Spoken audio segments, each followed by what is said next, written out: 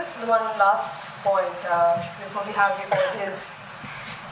How does one bring this attitude in conflicts and differences in a collective aspiration of a vision? One conversation the mother, Satprem had with the mother just came to my mind.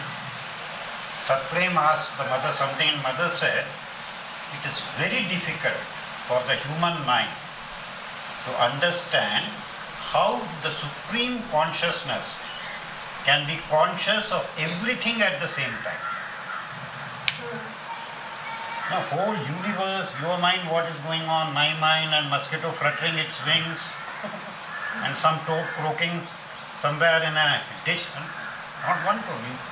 Imagine the number of live organisms happening and the supreme consciousness is conscious of everything at the same time. And then she added something which makes it even more interesting. She said, in the microscope.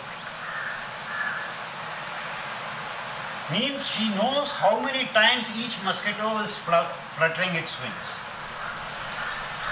And then we don't have to think. She's constantly present in our thoughts, in our emotions. She's there. And very interesting thing which happened with Udar, Udar Pinto.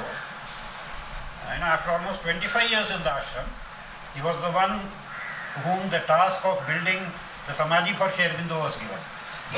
And he was somebody who was known for working in the ashram. He goes and asks the mother, Mother, how am I progressing in the sadhana? And mother says, You are not progressing at all. You are not doing any yoga. He's surprised. Then he, mother says, you know what do you do when you wake up in the morning? Says, I wake up. Hmm. He tell me in detail. He said, I brush my teeth first. When you are brushing your teeth, am I there with you? That is something. Because she is constantly present, and not only that, when my hand is moving, it's she who's moving.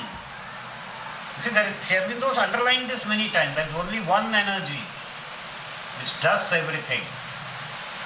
It's my mind. My mind, by its nature, is given to division. So if I see a fan moving, I'm seeing the divine in movement. It's not just a fan. It's a manifestation, and there is only one consciousness, one being, one force. Nothing else. So that's reality. Remembering is to remember. Because Sri Aurobindo once said, you if possible, like constantly remember the mother, if possible thinking of her as the Divine Mother. Why should he say that? Because when you think of her as the Divine Mother, you are not humanizing her. She is the supreme conscious force that dominates all existence. And that is where when the point comes of being a servitor and the servant, see when we talk about the servitor, we have to remember Sri Aurobindo's sonnet, The Divine Worker. A wonderful line there. Thy smile within my heart makes all mystery. This defines, this defines the servitor. He doesn't need anything else. A servant is doing something because he's getting something in return. He's being taken care of, maybe given some money, accommodation, and he works in return for that. A servitor simply because he loves the one he serves, he adores. He doesn't, but not by, he cannot think of, you know, not serving.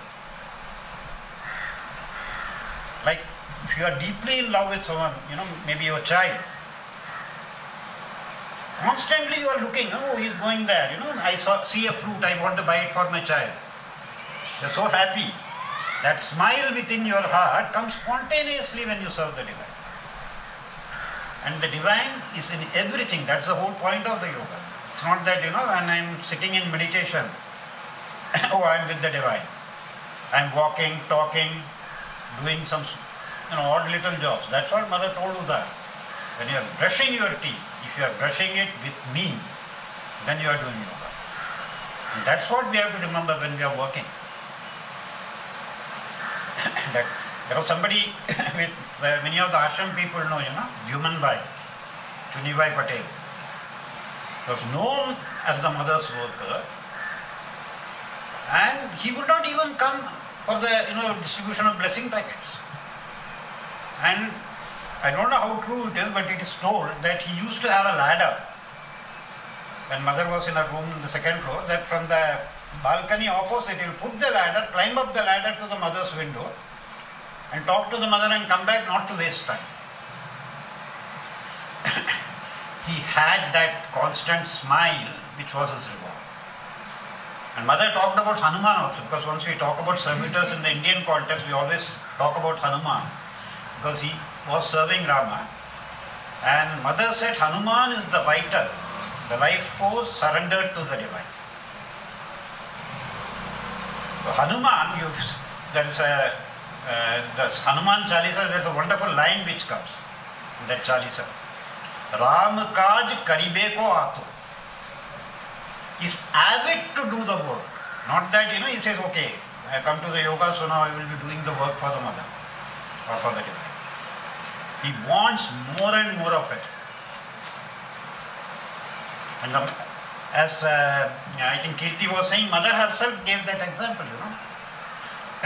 Right from the morning till about, you know, 2 o'clock in the night, constantly she was doing, she was working. Because she didn't say, you know, okay, you know, I am the divine mother, so I will divi- serve only the divine Lord. She saw the Lord everywhere because she knew that all this is nothing but the divine. When you have that attitude, you don't see other people, and then there are no conflicts. Hmm. It's a spontaneous movement that comes from within, and love, the, the servitude becomes a joy. There's no greater joy. So this